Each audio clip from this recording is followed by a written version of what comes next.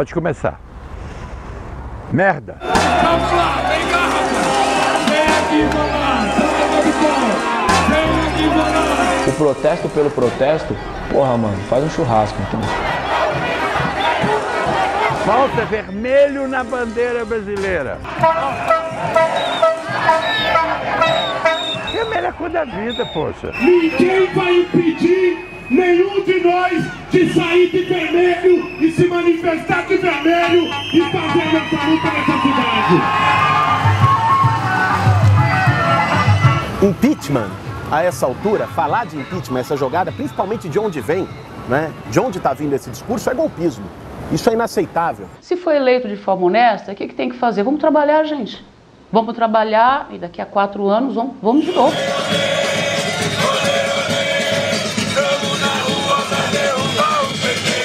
Eu acho que a indignação seletiva ela, ela é, é uma coisa que me incomoda muito. Né, porque a gente escolhe então uma pessoa só, um partido só, uma, uma visão só, e aí vamos bater em cima, vamos massacrar em cima e todo mundo começa a repetir isso. E isso não é bom para o país. Por que que acontece? A maioria fascista começa, começa a ser incentivada até ódio de tudo que muda. Porque não quer mudar, tem que ser sempre a mesma coisa, não quer mudar, não quer mudar. Então o que, que ela faz? Inventa um bode expiatório. Aí ela continua naquela, naquela coisa, mas ela tem uma crença por ódio que tem, algum, tem um mal em alguma parte. O ódio existe sim, mas continua a ser o mesmo ódio de classe velho de guerra no Brasil. O país da Casa Grande e da Senzala. A gente só quer o país de volta. E não foi o Eduardo Cunha que tomou o país da gente. O, o país é nosso. É uma cultura de privilégios que o PT quer implantar e quer virar que o país vire uma Venezuela para estar sempre hegemônico no poder. Nós sabemos o que os comunistas querem para o nosso país.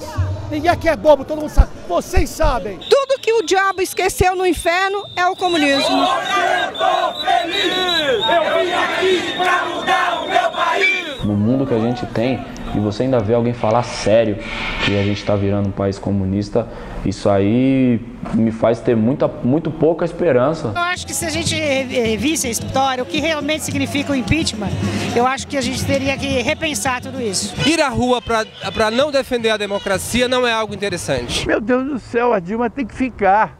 Porque quer se queira ou não, o que vem depois é muito pior. Imagina aquele cara na presidência da República, o Cunha.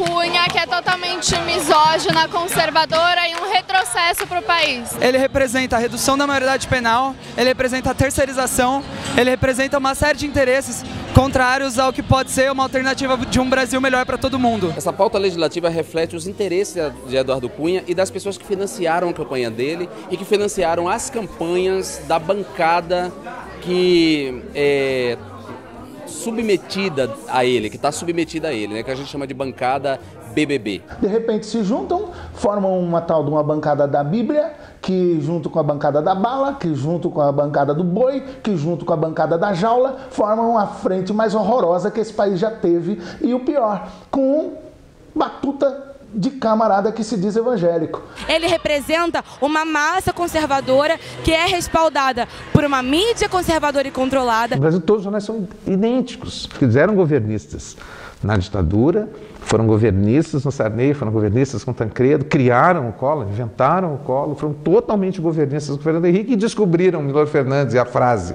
oposição, imprensa é oposição quando, quando o Lula chegou no governo. Né?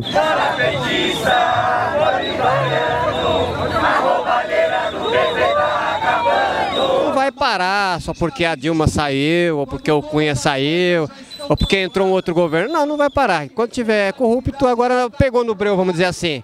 É internet, é Facebook, é o que der. Na verdade, o que a internet faz é, é reproduzir a ignorância que está aí, sacou? Todo mundo entende de política. De um tempo para cá, todo mundo é expert em economia, sabe?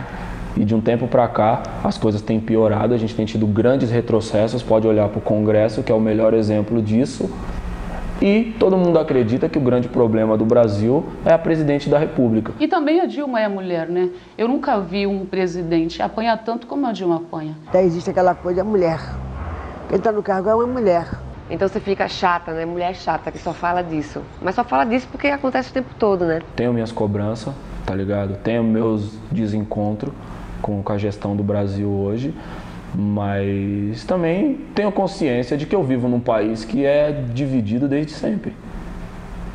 Entendeu? E se hoje ficou em evidência que o Brasil é um país dividido, até isso é uma conquista. E as coisas são para lá do bem e do mal, principalmente política, uma coisa para lá do bem e do mal. Não tem moral, como no teatro não tem moral, é outra coisa muito mais profunda, muito mais visceral. Trata-se do bem das pessoas. O caminho de contrariar, de decepcionar, de frustrar as expectativas da base popular que elegeu a presidenta Dilma é um caminho da ruína. Eu defendo que o governo é, continue, que a Dilma termine o seu mandato, mas que a gente respeite esse chamado, que é a saída é pela esquerda e não com capital.